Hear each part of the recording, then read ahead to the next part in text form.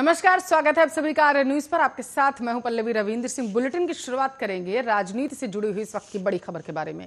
मायावती ने मुख्तार अंसारी का टिकट काट दिया है। मुख्तार अंसारी को चुनाव नहीं लड़ाएगी बीएसपी। माफिया और गुंडों की जगह बीएसपी में नहीं है, ये कहना है बीएसपी सुप्रीमो मायावती का। आपको बताते चले, किसी भी माफिया गुंडे को टिकट नहीं दिया जाएगा। मायावती ने साफ़ कर दिया है कि इस बार मुख्तार अंसारी का जो पत्ता है, वो बीएसपी से कट चुका है। आपको बताते चले मुख्तार अंसारी के बड़े भाई ने सपा भी ज्वाइन कर लिया अब ऐसे में कयास राजनीतिक गलियारों में लगाए जा रहे हैं कि मुख्तार अंसारी कहीं सपा का दामन तो नहीं थाम लेंगे, क्योंकि आपको बताते चले बीएसपी ने उनका टिकट जो है वो काट दिया है। उन्होंने कहा है कि बीएसपी सुप्रीमो मायावती ने कहा कि किसी भी गुंडे को टिकट नहीं दिया जाएगा। भीम राजभर को मऊ से प्रत्याशी बना दिया गया है। इस वक्त की बड़ी खबर है आपके टेलीविज़न स्क्रीन पर। आपकी जानकारी के लिए आपको बताते चले।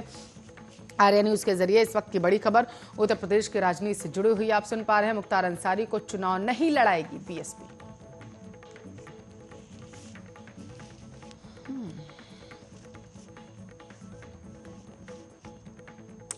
तो किसान नेता राकेश के, राकेश टिकैत के खिलाफ आपत्तिजनक पोस्टर लगाए गए हैं। बड़ी खबर से आपको रूबरू करा रहे हैं।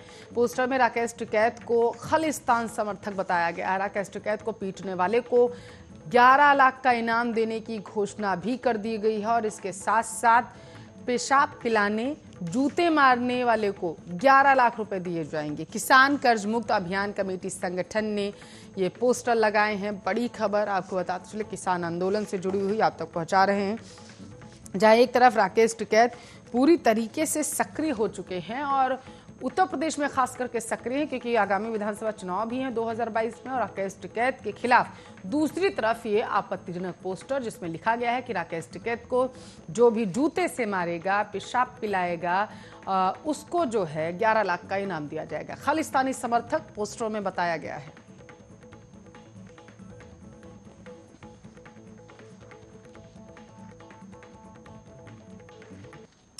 तो अगली बड़ी खबर से आपको रूबरू करा देते हैं। बॉक्सिंग नेशनल में मेरठ के चार खिलाड़ी झांसी में हुए ट्रायल में खिलाड़ियों को जगह मिल चुकी है। बॉक्सिंग नेशनल में चार खिलाड़ी जो हैं मेरठ के, वो शामिल हो चुके हैं। मेरठ से बड़ी खबर देश को गौरवान्वित करने वाली आप तक पहुँचा रहे हैं।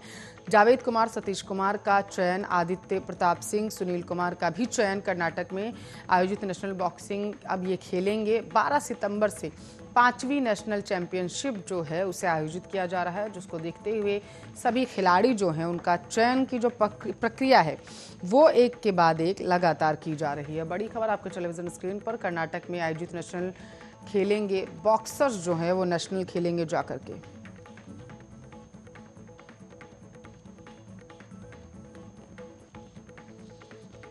एक और बड़ी खबर से आपको रूबरू करा रहे हैं। सीएमओ ऑफ़िस घूसखोरी का अड्डा बन चुका है अब।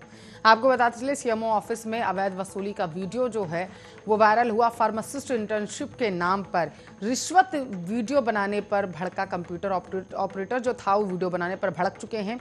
और रिश्वत लेने का वीडियो जो है, वो सोशल मीडिया पर वायरल हो रहा है। रिश्वत लेते हुए इस वीडियो में साहब आराम से देखे जा सकते हैं। अधिकारियों ने मामले पर पूरी तरीके से अब चुप्पी साध ली है। बड़ी खबर, घूसखोरी से जुड़ी हुई आपके टेलीविज़न स्क्रीन पर है वीडियो बनाने वाले पर कंप्यूटर ऑपरेटर साहब जो हैं, वो भड़क उठे हैं और आपको बताते हैं, हालाँकि रिश्वत लेते हुए उन्हें इस वायरल वीडियो में साफ़ देखा जा सकता है।